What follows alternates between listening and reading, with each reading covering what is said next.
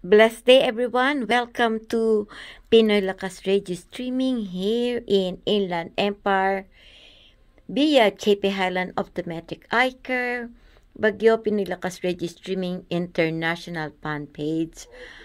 This three bear is actually a very, very special bears. They're not just regular bears. I will be starting with our wonderful marine bear right here that my son gave it to me. He's a marine bear. And you look at this logo of the spin. It's a marine one and all the one in the bottom. And look how smart and sharp this marine bear. Now the second bear that I got, I love you Mark.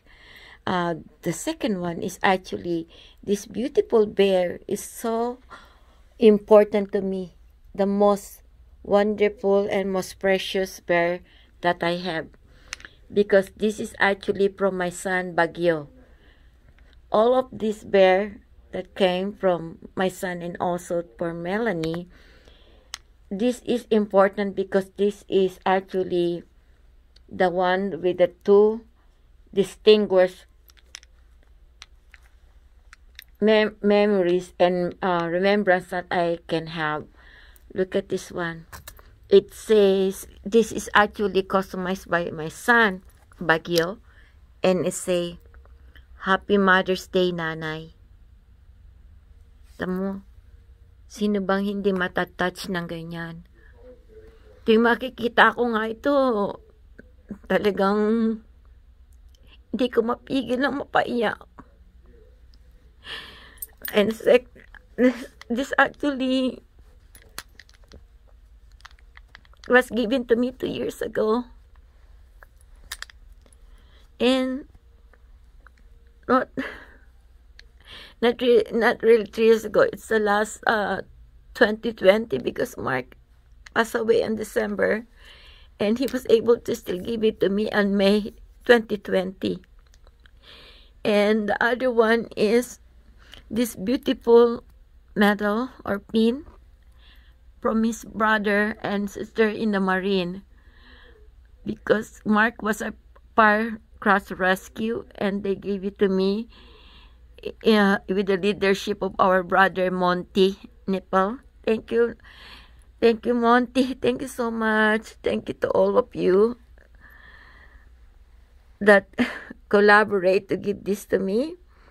And this is the last one that I get from Melanie for Mother's Day. Actually, ito nagmi-miracle ito eh. Kumakanta ito. Ginising kami nito nung Sunday, 6 o'clock ng Memorial Day. Miski nakuha na siya ni Richard the second time, naka, mag-isa na lang siya, kumanta pa uli. The first one, with, I think, baka na nasanggi siya ni Richard kasi katabi niya. Pero nung inilagay na namin siya sa tabi, kumanta siya uli.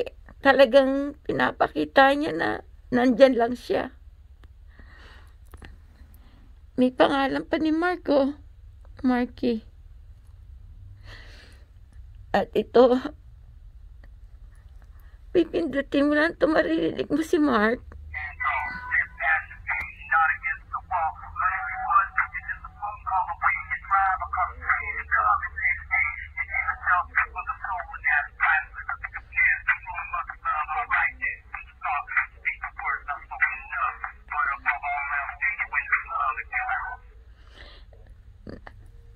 Itong bear na to, itong tatlo na ito, napaka laking bahagi ng buhay namin ni Mark. Pero ang isa pang miracle na natanggap namin, na kaming lahat sa bahay, kami nila Doc, at saka nila MJ, nila Ray, nila Anthony, talagang hindi ka makapaniwala dahil yung miracle, yung miracle, uh, one of his miracle orchids ay talagang namatay na.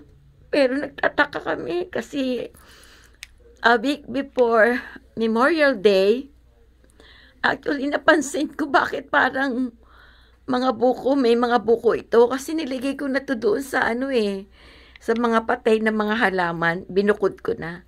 Nilagay ko lang siya sa lilim. Nung nakita kong parang, bakit ganito pa nagbubuko? Kasi, tignan mo naman, wala na siyang kadahon-dahon. Tsaka makikita mo naman patay na yung kanyang puno.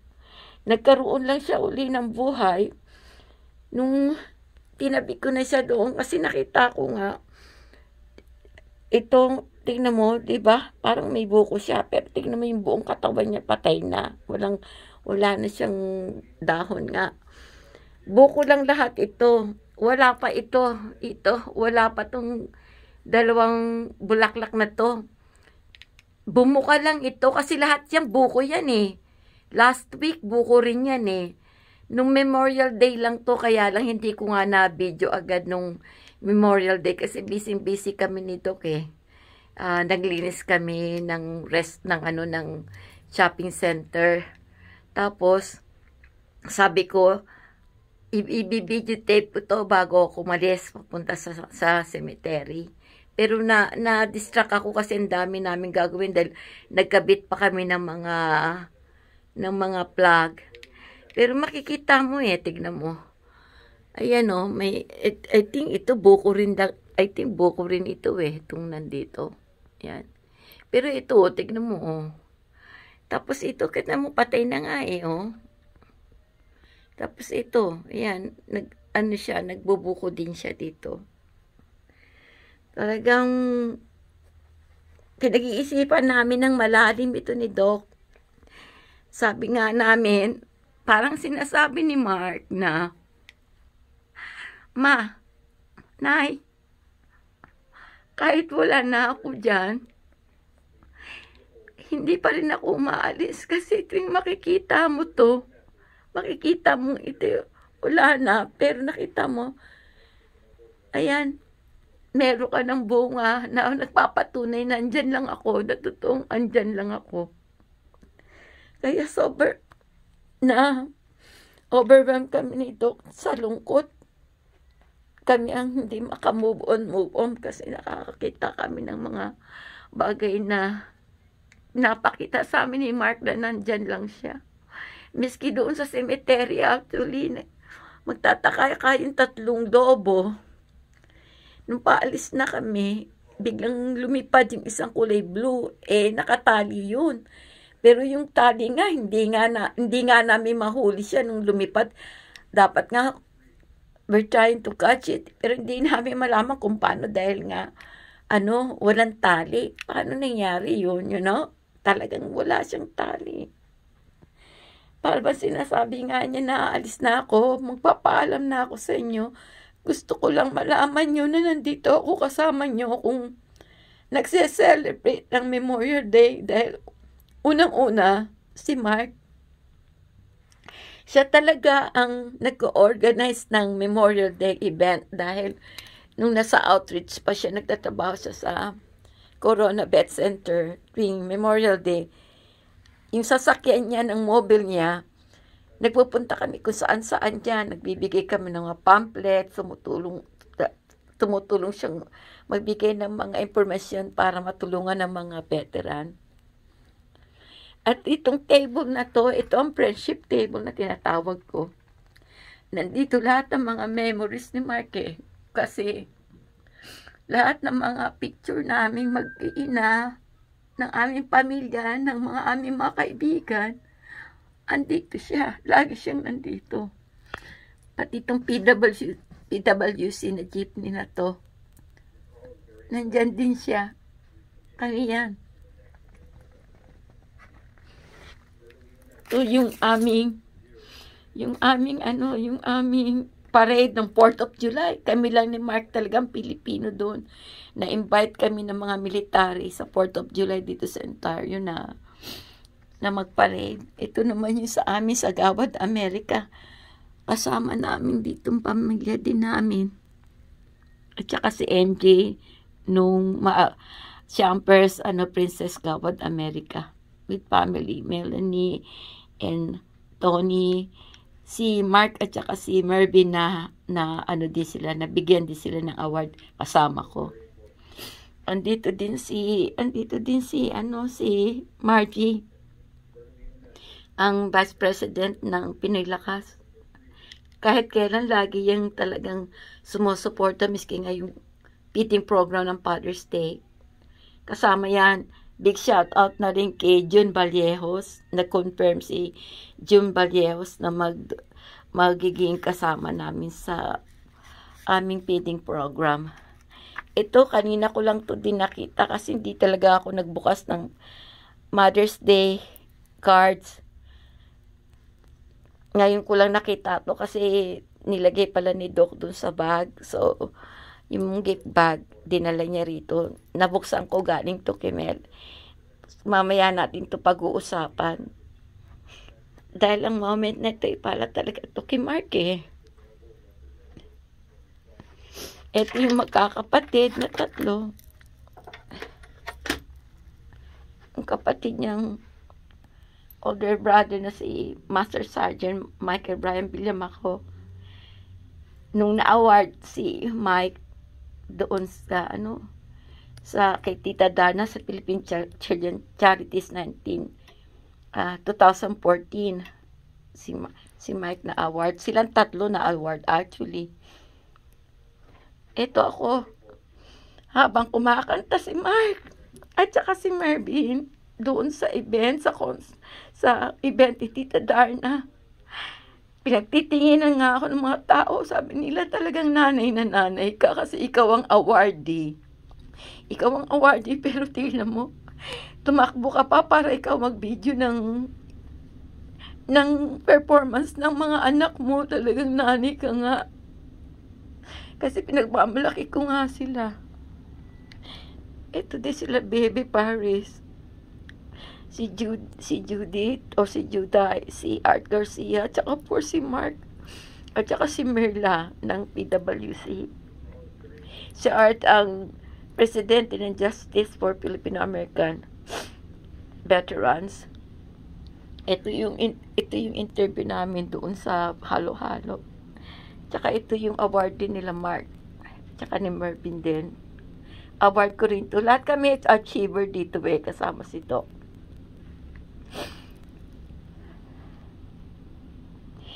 Itong una-una naming event na ginawa para sa mga veteran, no? Sa Kusina Pilipina. Pinapakita pa nga ni Mark yung kanyang Warzone tattoo. Wala pa yung pinilakas niya noon bago pa lang siya. Ito yung sa memorial. Sa memorial Facebook cover ko. The ultimate sacrifice of our brave American heroes will never be forgotten. Parang sa veteran din yan, pero memorial yan.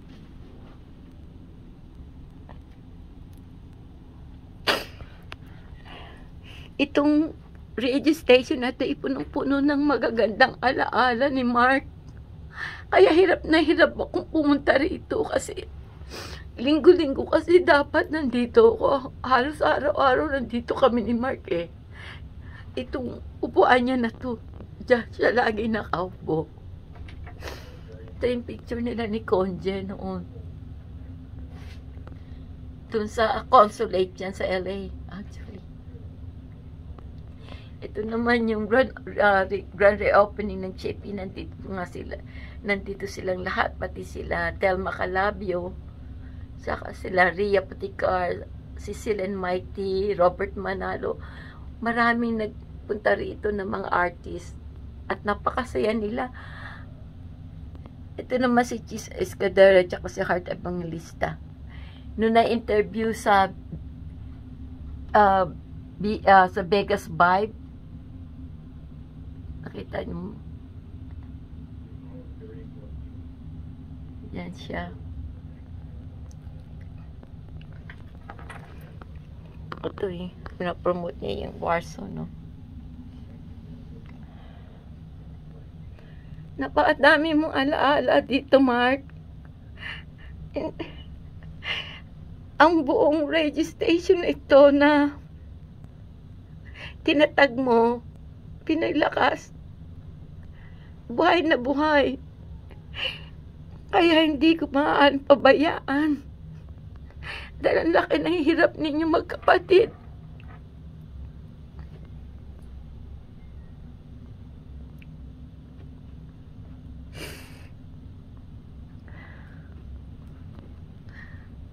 Silang dalawang magkapatid, lagi magkasama to.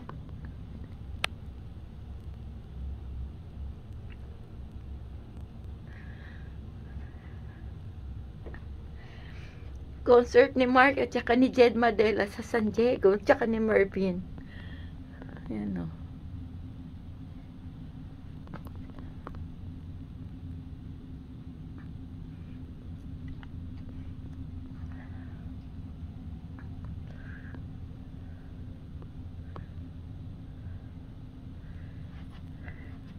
Sobra. Sobra, sobrang nanditong lahat. Kaya, ting bubuksan ko tong pintuan nito. Parang nakikinikinita ako si Mark na nakaupo lang dyan sa, si, sa silya niya.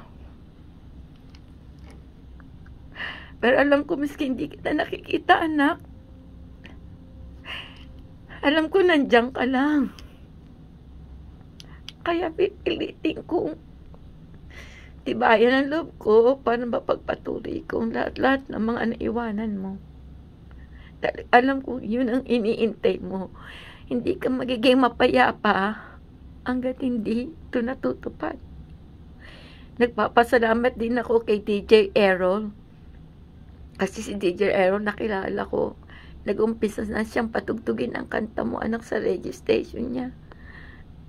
Maraming maraming salamat sa iyo. Maraming maraming salamat sa lahat ng mga nagmamahal kay Mark. Panadilihin nating buhay siya at suportahan ng kanyang mga pinaghirapan. Magpapaalam na ako sa inyo para makapagpagawa pa ako ng iba pang project dahil ang PWC meron silang project para mapanatiling malinis ang LA at makatulong sa mga kababayan natin nangangailangan. May meron silang event ngayong June na to, tumulong po tayo. May ticket po tayong parapos. Maraming maraming salamat po sa inyong lahat. Ang inyong Pinay. Lakas sa Ilan Empire. Ludigil Quezon, ang nanay ni Bagyo. Always remember, be humble, be human. Be humble, be kind. Okay, God, God, God gave this life to us and love that life. Nag-iisa lang po yan. Keep yourself safe. Meron pa rin COVID hanggang ngayon. Huwag kayong uh, magne-neglect na sarili nyo para maprotektahan yung mga mahal nyo sa buhay. Lagi nyong alalahanin kung anong nangyari kay Mark para maalala nyo na ang COVID ay totoo. Mahal po namin kayong lahat. Bye for now.